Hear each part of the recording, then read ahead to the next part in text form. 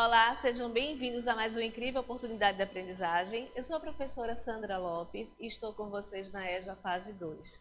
Hoje com a disciplina de Ciências, vamos lá? Microorganismo, vírus, bactérias, fungos e protozoários. E como será a nossa aula, professora? Trabalhando todos esses conteúdos, entendendo como é que funciona tudo isso. Iremos propor, a partir de conhecimentos das formas de transmissão de alguns micro-organismos, vírus, bactérias, fungos e protozoários, atitudes e medidas adequadas para a prevenção e doenças a elas associadas. Vamos falar um pouquinho, abordando como é que funciona, como é que acontece essa doença, entender como é que se dá esse processo. Mas como são os microorganismos? Vamos começar a falar sobre microorganismos. E aqui eu trago esses bichinhos aí se movimentando para que vocês entendam que é mais ou menos assim como que eles funcionam dentro da gente. Protozoários, vírus, fungos, bactérias, mas hoje os microorganismos em atividade. Como o próprio nome diz, são seres vivos bastante pequenos microscópicos, né? A maioria das vezes, que só podem ser vistos individualmente com auxílio de equipamentos específicos, como microscópio. Olha só, que nós, olhando assim, não iremos ver, quase é impossível, mas sentir o mal-estar ou a condição que ele irá nos proporcionar, certamente iremos sentir. Os vírus os vírus são organismos extremamente simples, formados apenas por material genético. Podem entrar em nosso corpo pela respiração, por alimentos contaminados. E aí eu trago algumas imagens para vocês, como vocês estão vendo aí, ó, a catapora, a cachumba, a coronavírus que a gente teve agora contato, estamos ainda tendo muito contato. É uma proposta de vírus, ele entra muitas vezes pelas vias respiratórias, né, que nós temos contato, né, em conversa, muitas vezes também por uma questão da saliva também. E esses vírus, ele é, entram em processo de contaminação e, e, e vamos passando de um para os outros e vai acontecendo. E muitas vezes acontece uma pandemia, né, uma condição que estamos vivendo do, do coronavírus. E como existe o coronavírus, existe outras centenas de vírus.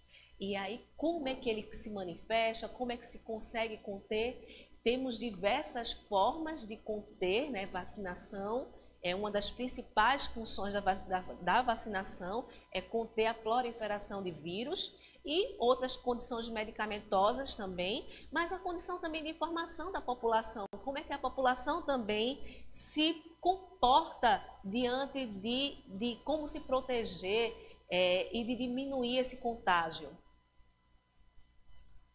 E existe também muitos vírus que já foram extintos graças a um alto esquema de vacinação. Isso é muito louvável estar falando aqui, porque é por isso que é muito importante que vocês continuem buscando esse processo de vacinação, que vacina é importante sim para nossas vidas. As bactérias são consideradas como células, pois elas também detêm o seu próprio sistema de vida. Sua transmissão pode ocorrer através de água, alimentos contaminados, do ar, do solo. Algumas doenças causadas por bactérias são pneumonia, sífilis, meningite, entre outras.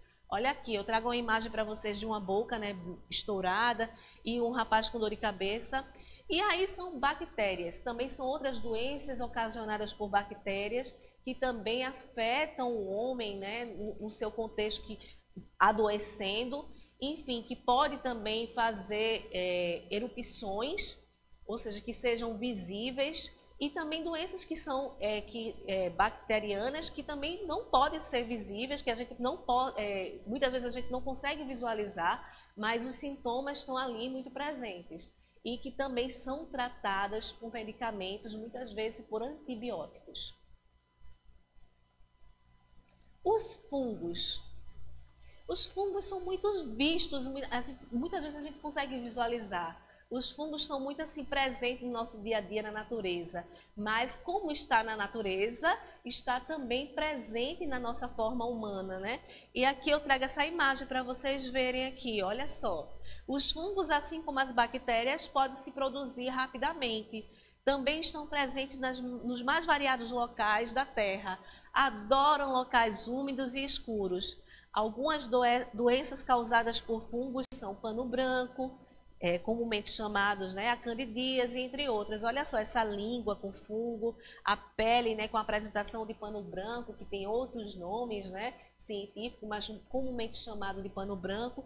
Então, são também tipos de fungos que atingem a pele, a, a, a questão do, da espécie humana e outros tipos de animais que também afetam a saúde. E isso tudo aqui fungos, bactérias, vírus, está muito presente no nosso dia a dia. Falamos sobre fungos, bactérias e agora iremos falar sobre algumas doenças causadas por protozoários. E o que são protozoários? Vocês já pensaram, já identificaram algum protozoário?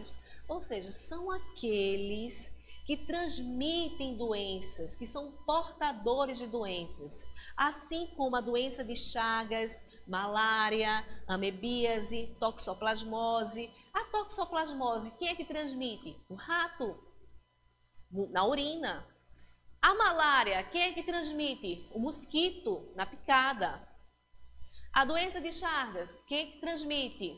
O mosquito, que vocês estão visualizando aqui, que é bem achatadinho, que geralmente ele fica o quê? Ele gosta muito de casa, né, de barro.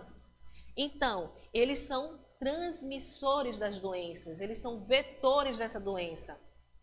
Então, assim como a gente falou dos vírus, dos fungos e das bactérias, esse, essas doenças também causadas por protozoários também comete a saúde, da, a nossa saúde. E muitas vezes a gente não visualiza essa, essa problemática, porque essas doenças muitas vezes só são identificadas por exames clínicos. E para que a gente entenda que a gente tem muitas vezes uma doença provocada por protozoários, é preciso que a gente faça exames clínicos, é preciso que a gente vá até o médico e faça um exame de sangue para identificar.